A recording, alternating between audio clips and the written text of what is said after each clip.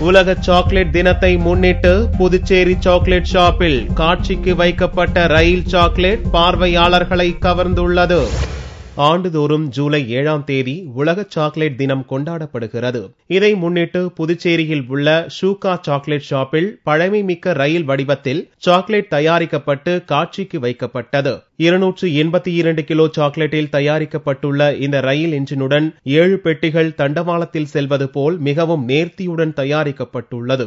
பெல்ஜியத்திலிருந்து வரவழைக்கப்பட்ட சாக்லேட்டை கொண்டு இருபத்தி ஐந்து நாட்களில் பனிரெண்டு அடி நீளம் கொண்ட சாக்லேட் ரயிலை உருவாக்கி உள்ளதாக செஃப் ராஜேந்திரன் கூறினார். ஆயிரத்தி தொள்ளாயிரத்தி எண்பதுல இதே மாதிரி ட்ரெயின் இருக்க இருந்திருக்கு.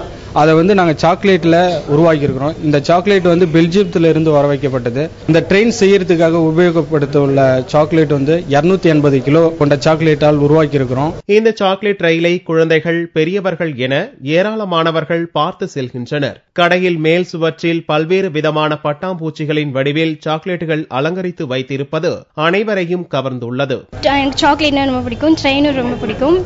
அதனால் ரெண்டும் சேர்ந்து செஞ்சுருக்கனால இது ரொம்ப சூப்பராக இருக்கு. வித்தியாசமாகவும் இருக்கு. இதற்கு முந்தைய ஆண்டுகளில் ஷூகா சாக்லேட் ஷாப் சுதந்திர தேவி சிலை டைட்டானிக் கப்பல் என்று மக்களை கவரும் வகையில் சாக்லேட்டுகளை உருவாக்கியது குறிப்பிடத்தக்கது.